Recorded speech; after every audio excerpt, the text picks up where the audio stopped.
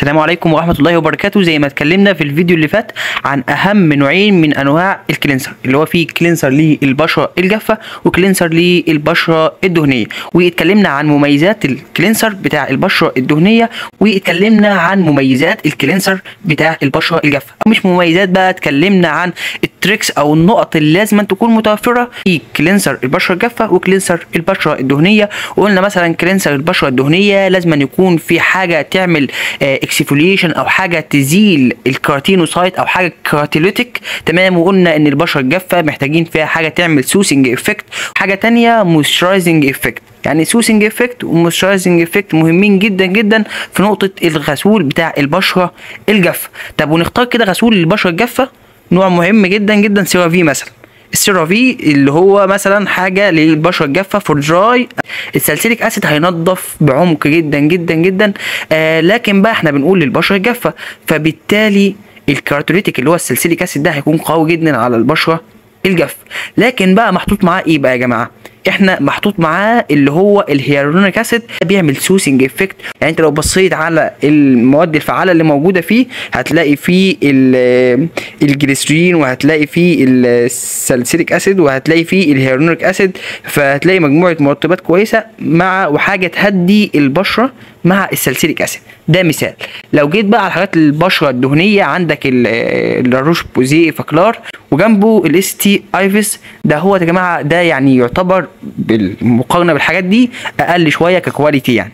فزي ما إحنا شايفين كده في حاجات اللي هي شركات يعني premium وشركات عادية قدامنا. وزي ما اتكلمنا برضو في الفيديو اللي فات يا جماعة إن في حاجات medicated وحاجات non medicated إحنا cleanser عشان ال cleansing بس.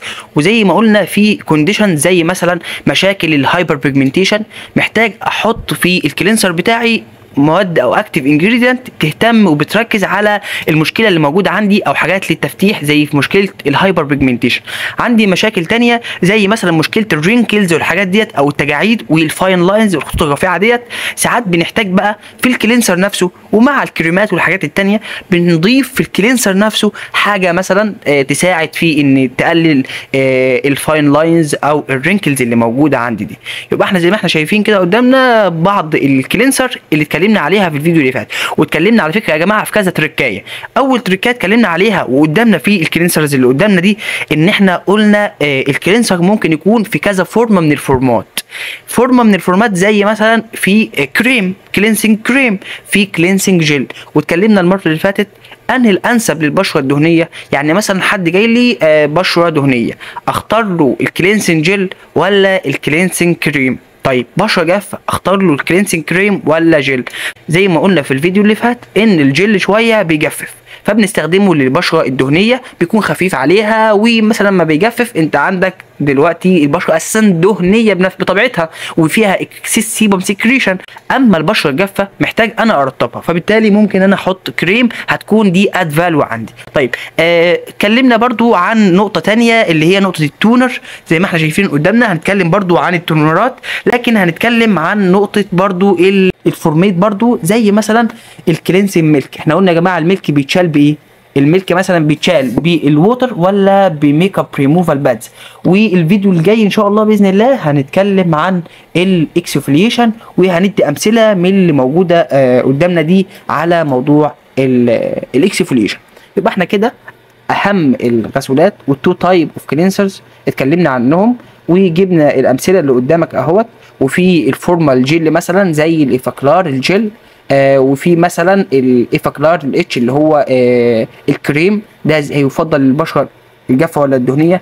أكيد هنقول الكلام ده. أو أني بشرة ممكن يستخدم للبشرة مثلا الدهنية. طب ليه هيستخدم كريم؟ هتستخدمه للبشرة الدهنية؟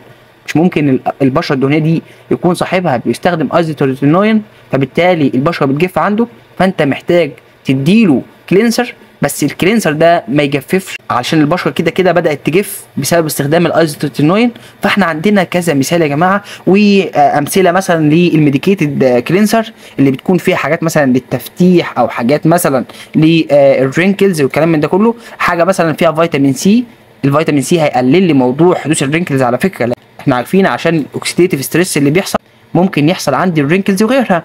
فبالتالي برضو هنتكلم عن آه، النقط ديت. دي برضو ال toners اللي اتكلمنا عليها يا جماعة في الفيديو اللي فات وده حاجة ملك ملك يا جماعة عشان برضو الفيديو اللي فات اتكلمنا في الملك بيتشال إزاي. آه ال toners وال micellar water اتكلمنا عن ال toner وإيه فايدة ال toner. آه وال micellar water دي على فكرة يا جماعة دي techniques في ال toner. دلوقتي الميك اب بيكون فيه oil part و non-oil part يعني الميك اب مش بيكون كله oily ولا بيكون كله watery يعني ال oil بيدوب في ال oil فبالتالي أنا لو عندي oil substance على البشرة من ضمن الميك اب هحتاج oil عشان يدوب. طيب لو كان عندي watery substance موجودة على البشرة محتاج أنا water علشان أزيل بيه الميك اب ده. طيب إحنا قلنا الميك اب فيه two types علشان كده أنا لما أجي أزيل هستخدم حاجة إما فيها oil part زي اللي فوق ده أهو اللي في Garnier ده يا جماعة. ال oil part طافي على المية أهو. water part ال oil part لي ال oily ال oily part أما الجزء اللي هو ال watery ده هيزيل لي ال watery substance اللي موجودة في الميك اب يعني الميك اب يا جماعة بيكون فيه جزء oily وفيه جزء non-oil فبالتالي عشان أدوب ال oil محتاج أجيب له oil عشان أدوب ال water محتاج أجيب له water عشان كده Garnier عملت إيه؟